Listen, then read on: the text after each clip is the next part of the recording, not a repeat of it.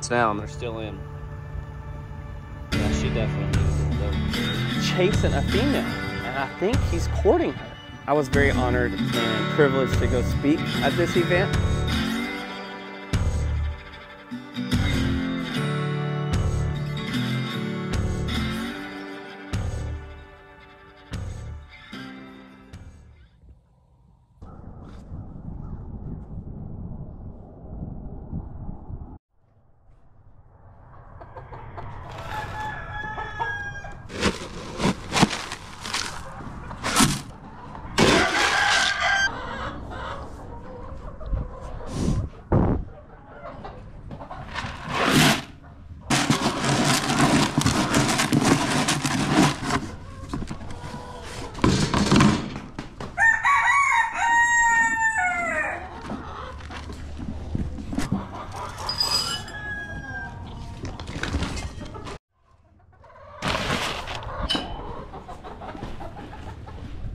Chick, chick, chick, chick, chick, chicks. Chick, chick, chick, chicks.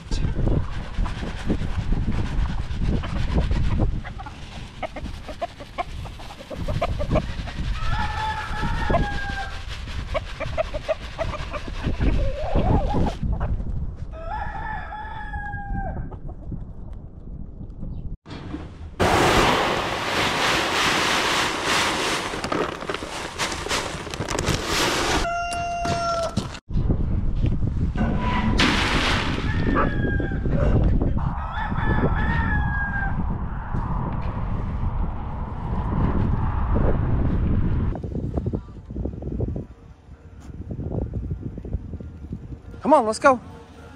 Load up right here. Uh, uh, uh, uh. Come on, let's go. Right up here. Come on, you got it. Good girl. Yeah, good girl. Hey, Maya.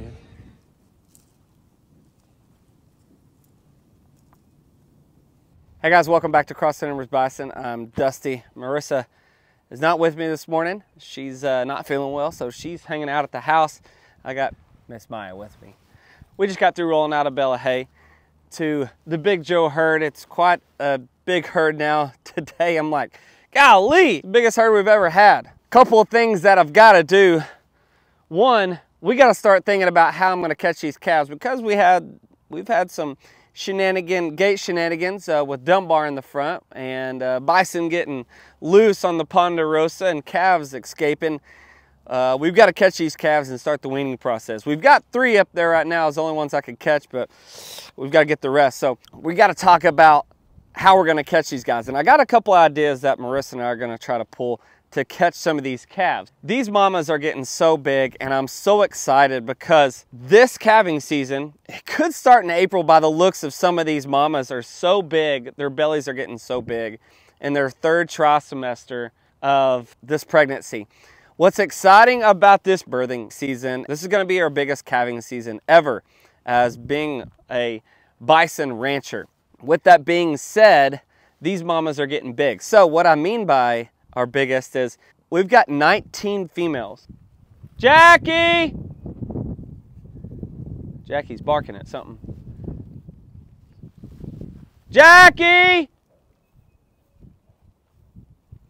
think those cows live in the woods, but we've got 19 two-year-old females. They're gonna be three this spring that are gonna be first timers. You take that many plus the original herd we had, which is about 15 or 16 females, and uh, you've got a, a lot right there. So you've got 34, 35 females that could possibly calve. We could have 30 plus calves for 2024. And I know you're just excited as much as Marissa and I are.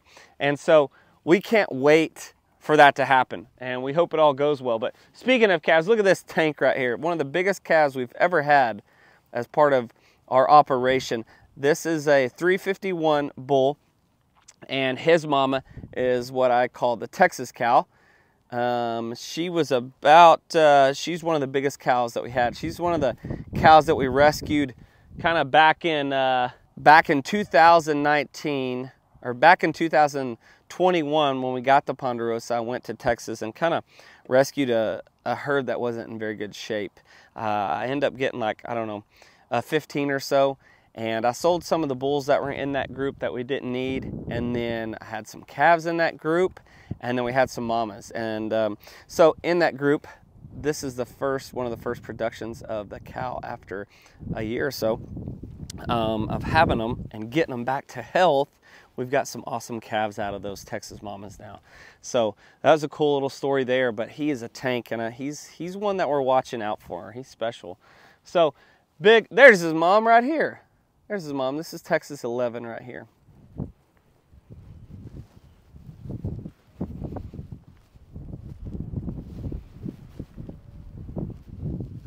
Well, by the way, some of you may have asked, you were kind of worried about the two darts were left in that heifer that Marissa and I were darting for uh, some dewormer, basically, trying to get in them a quick way is by using the Pneu-Dart. We did get all the darts off of except that one heifer. But some of you asked, did she lose them? Yes, she. the next day we came out here and both darts were out of that Canadian heifer. Why did they stick in longer than the other two? I don't know. I'm not sure exactly why uh, they did that, but it is what it is. It happens sometimes, I guess. Uh, maybe I didn't pump it up enough. On the rest of them, I pumped it up a little bit more to make it a little bit more powerful because that is a pump Pneu-Dart. You can get the 22 version uh, that powers it.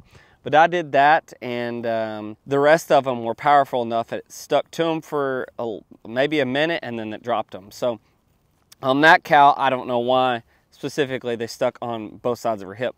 But uh, the bad part about those darts is they're not biodegradable or anything. Um, so we do have to find them eventually, wherever they are. We should start spray painting them orange, I think, um, like fluorescent orange. And Marissa and I talked about last year whenever we darted Dunbar. Uh, they did fall out and they're out here somewhere in the pasture. So uh, that little needle's maybe like less than a half an inch size. And so we just need to try to find it basically. Um, it may be hard. The grass is low right now, but in a couple months it'll start coming up and we'll have a hard time finding it.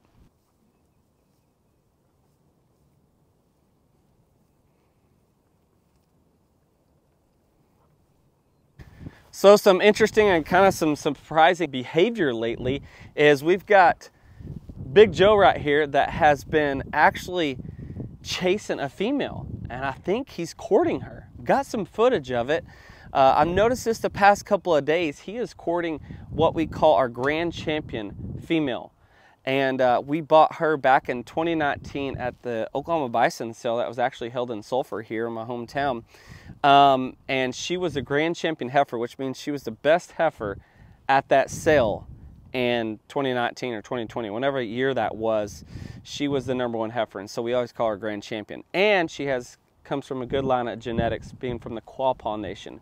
We've got three Quapaw females here, and the latest is the little one right here. This is actually what we who we call Quapaw. She had the latest little red dog um, here back in October. Kind of surprised there too as well. But Big Joe has been chasing her around, and I bet she's close to him. Yep, so she's right here behind me. So he just covered me up there. It's funny. Um, he stayed between, there she is right here. So 8,007, she's a beautiful cow. And um, yeah, he's courting her, so she must be in heat. And uh, she had a calf, oh, I have to go back and look at my notes. She had a calf, she had a late born calf, basically, and he's actually, I think he's still out here with her. So I noticed that he needs to be weaned, so Big Joe's been kicking him away from her which is pretty natural, and that's what happens in the wild. I was, um, I'm assuming, and so they kick him off, and so he can breed her. So usually they, these females come in heat about like a month or two after they have a calf. Quapaw had her baby in January, so I'd say within February, end of February or March, she'll be coming in heat, which is kind of when bison should start calving. But in her case, because she had one early or late, whatever you want to call it, quapaw heifer. She'll come in heat maybe March or so, get pregnant, and now we're looking at another nine, ten months, long as a woman, and then she'll be having a calf again. So her timing is a little bit off like some of them, but typically bison have babies in April and May. And down here in the south, I feel like we have them in May and June typically. We want them to have babies before it gets too hot. That's the that's what is important to us.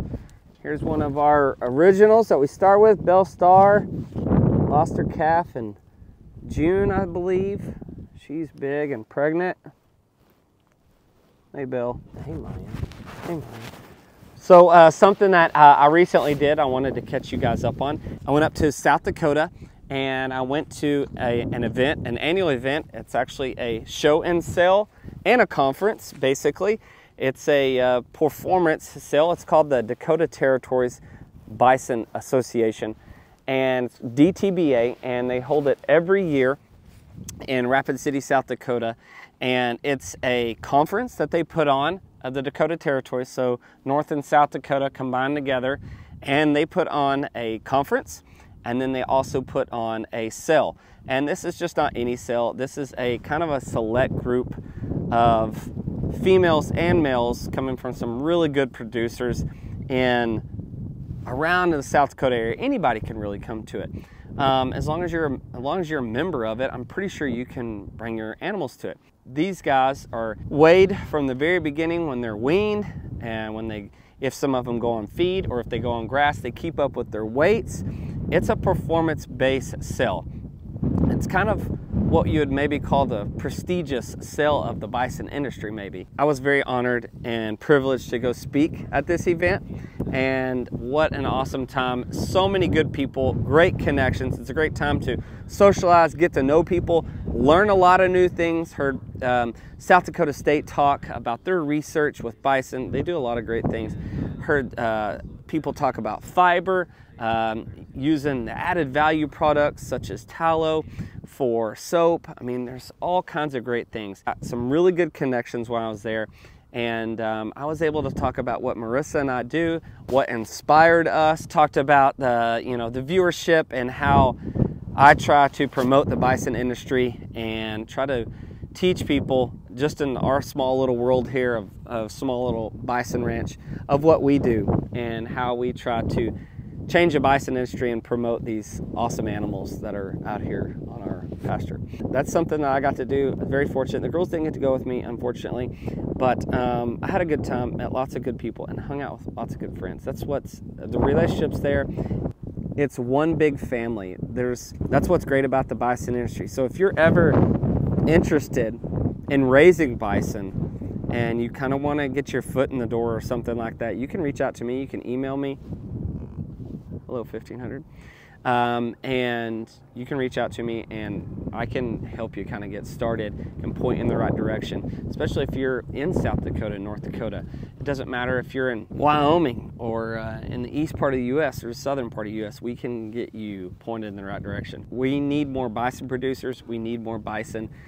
I'm not doing it all myself. There's a bunch of us out there and we need more of you, right? We want to try to grow the numbers of the bison and help the industry. And so I hope that I do that in these videos. I hope that do that in our message that um, Marissa and I are trying to send to people and share our experiences and our stories of raising the American bison. Ponds are full. It's a good sign. Bison are running.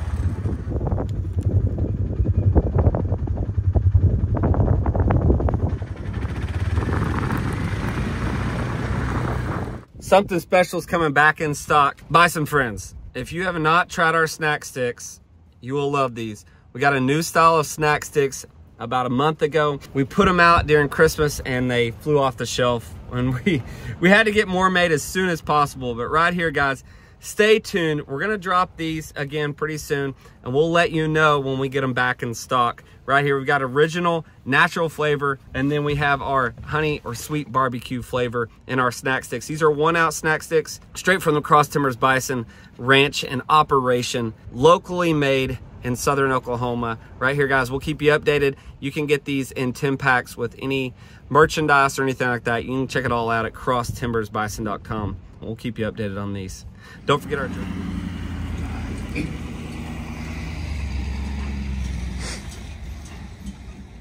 First load, a little messy. All right, so I have to show y'all, my buddy Marshall and I here recently had to haul some hay off of my brother-in-law's place, uh, Daniel from Arms Family Homestead. We got some hay baled off of uh, him uh, late summer and it was time for us to go get it. So Uh, but I had my buddy, he's got the big truck and the big uh, hay trailer, and I had him, um, we went to try to get some work done and try to uh, haul some hay, and a two hour task turned into an all day endeavor.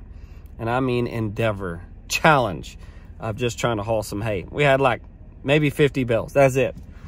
Here's what Marshall and I went through. What a day. First load, a little messy. That's all right. Had to load from the side. 20 bales headed to the Lynch place.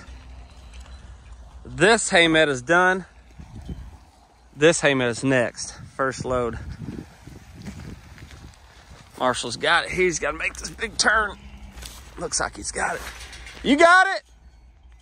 Oh, like in the video, you can see her coming over there. I know.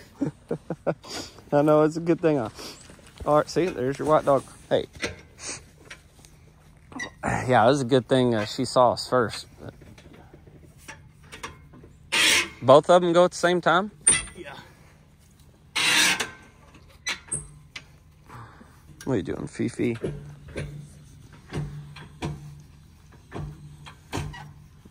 Need a little lube. And that's it. 20 bales. I don't know if Daniel needs any, but we're gonna go in this hay meadow now and start there. Get another load of 20. We have put some weight on the back. Marshall and I got it strapped down. These are 50 horsepower tractors. The weight ratio is not great. So we gotta have our bale in the back so it don't get a little awkward in the front.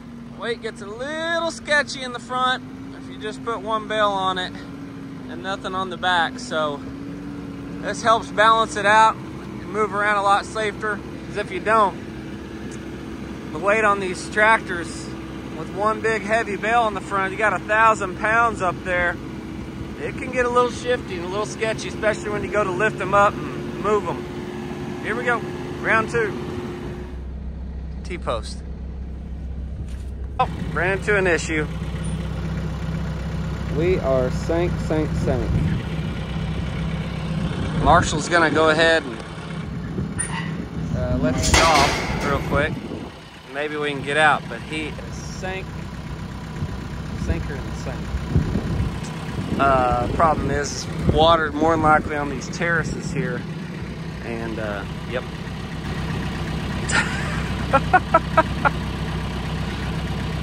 oh boy.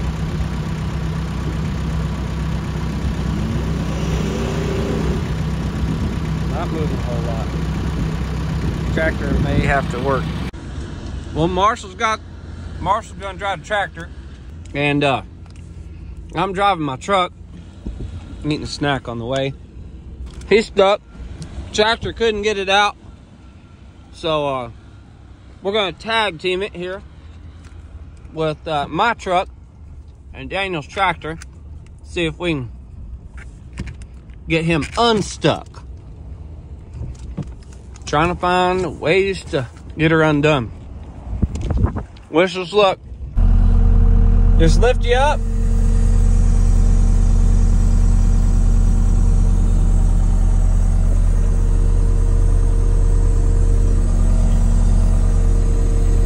Swim.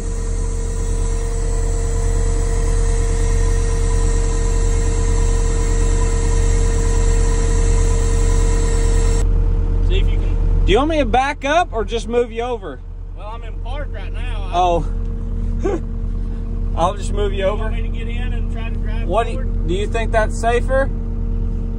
Or just worth it? Well, the only thing I was thinking is if you could. Just move you over. I mean, you can try. Which way? I don't care. And it may not do it.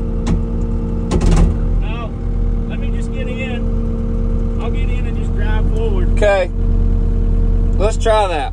I'm probably not gonna hit the gas much because I don't want to run it. I'll just let you kind of. Okay. We got her cranked up off the ground. I don't know if you guys can see the tire and the rut, but we we've got a quite a cluster here. We got Daniel's skid steer, tractor, all of it.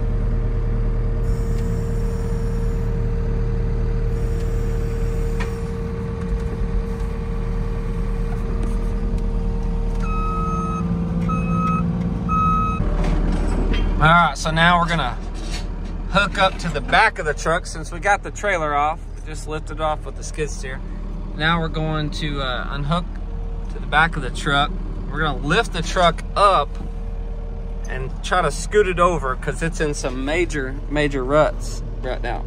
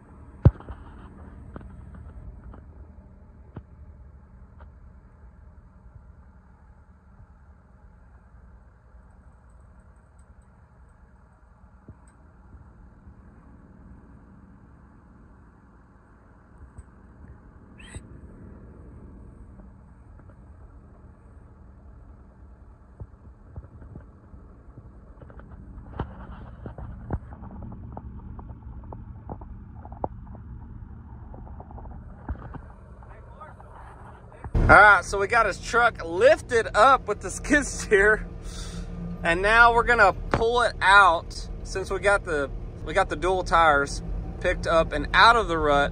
I'm moving the trailer because it's muddier, basically, if we go forward.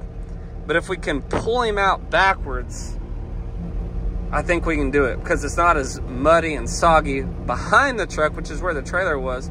But we're pulling this trailer out of the way so we can pull him out with Daniel skid steer. Man, talking about ranching it. But I'm getting this sucker way out of the way. So now we're gonna go try to pull Marshall out this way. We're gonna pull him out since we got his tires out of the rut, the duals. Stuff.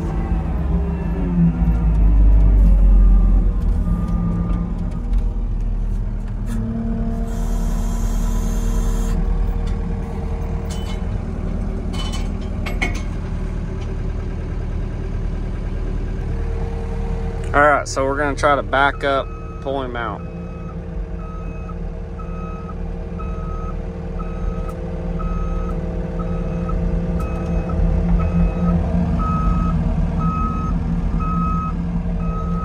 Success.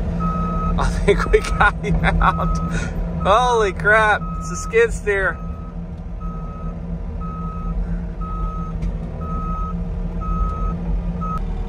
All right, we got it. Holy smokes. We got it. Three hours later, we didn't give up. Took a little, little while, but the skid steer came through. Thankful for Daniel's skid steer. His was a lot closer than, uh, than mine is. Uh, so mine's at the cabins and Daniel's is here. So now we're back to work, hopefully, and don't get stuck again. We're gonna get Marshall backed up here and hook him up. Which way? Oh, down?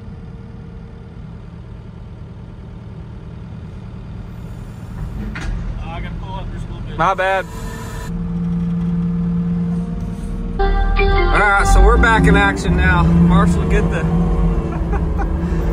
trailer hooked back up and uh, we'll reload our stack here. Hopefully, let's go take a look at this muddy, muddy mess. Poor Daniel. I told him, I said, we're to have to fill in a bunch of your ruts.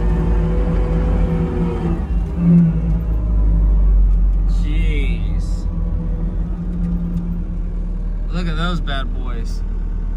What a mess. Marshall's helping on the other tractor. making this go by faster.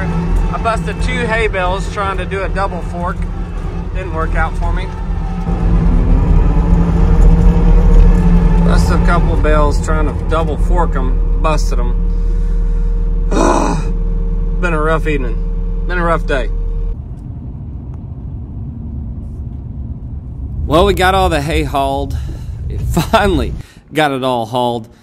Thanks to Marshall, I appreciate all his help. And man, what a day we had. And then the day didn't get any better. Let's just say that we had some of our bison get through a cross fence and tore it up a little bit. Not sure what happened, but anyway, so we as soon as we got the hay hauled, we headed to the Ponderosa to patch up some fence, and uh, that was basically how we ended our day.